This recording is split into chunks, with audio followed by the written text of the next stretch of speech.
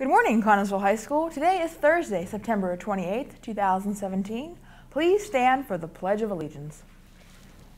I pledge allegiance to the flag of the United States of America and to the republic for which it stands, one nation, under God, indivisible, with liberty and justice for all.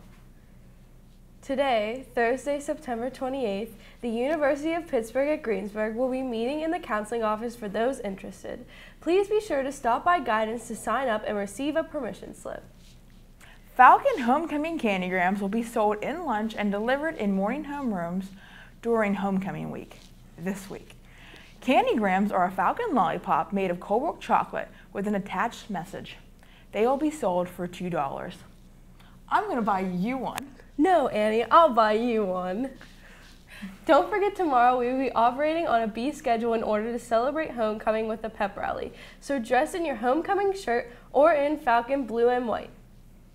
The adopted grandparent group will take their first visit to the South Connellsville Care Home on Wednesday, October 4th from 2.30 directly after school until 3.30.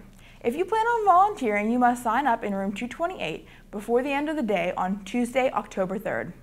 Good luck to the boys soccer team as they play away at Penn Trafford. Today's lunch will be tacos with lettuce and tomatoes, black beans, french fries, assorted fruits, and milk. Assorted fruits? Wow! the weather for the day is partly cloudy and a high of 70 and a low of 46.